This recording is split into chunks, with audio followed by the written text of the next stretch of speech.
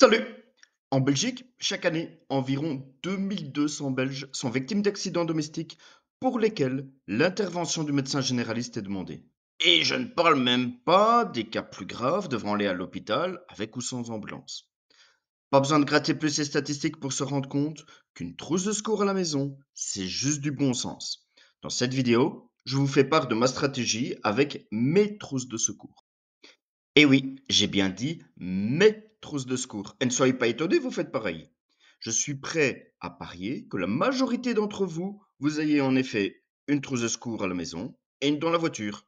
Et pas uniquement car c'est la loi, juste car vous voulez avoir de quoi vous soigner chez vous, mais aussi en déplacement. Et si on poussait ce raisonnement un peu plus loin? Ma réflexion était la suivante. L'idéal, c'est d'avoir une trousse de secours là où je risque de me blesser. En cas de petit bobo, je ne dois pas traverser tout le terrain ou toute la maison pour un sparadrap. En cas de blessure plus grave, j'ai ce qu'il faut à côté de moi. Ça vous paraît peut-être un peu superflu? Allez. Un exemple. J'ai dans mon véhicule une trousse de secours assez bien équipée sous forme de sac à dos assez volumineux. Mais ce sac à dos-là, je ne peux pas le porter sur mon dos tout le temps lorsque je fais du travail dans les bois, par exemple. Pour ces activités de bûcheronnage, j'ai un petit trauma kit sur moi en permanence. La tronçonneuse dérape, m'entaille une artère, ben, je sais me soigner sur place car le sac à dos, même s'il est à 100 mètres, c'est déjà loin quand tu es en train de te vider de ton sang. J'ai donc identifié tous les endroits où je suis un peu plus susceptible de me blesser.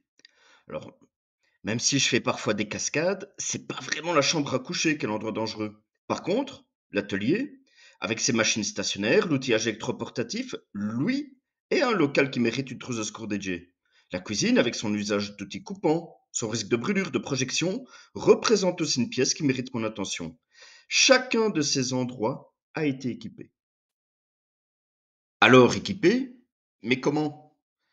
Je pense, personnellement, que toutes ces trousses de secours ne doivent pas être ultra complètes ou suréquipées. Pourquoi avoir de l'équipement pour des brûlures dans des endroits où ce n'est pas possible de se brûler? Reprenons l'exemple du travail dans les bois. Dans mon trauma kit, sur moi, est-il nécessaire d'avoir un antiseptique, un désinfectant, alors que mon sac, qui lui est bien équipé, n'est qu'à 100 mètres cette fois-ci? Clairement non. Dans ce trauma kit, c'est plus intéressant d'avoir du matériel pour des blessures lourdes. Chacun de ces endroits, chacune de ces trousses est donc unique. Leur composition est réfléchie en fonction des risques spécifiques et des activités que j'y pratique. En dehors du matériel, il est important de rappeler que ce qui compte avant tout, c'est les compétences et les savoirs. La composition de ces trousses, là aussi, est adaptée à cette variable. Voilà, la base de ma stratégie étant posée, je vous montrerai dans d'autres vidéos le contenu de cette trousse de secours. Le pouce, l'abonnement, préparez-vous.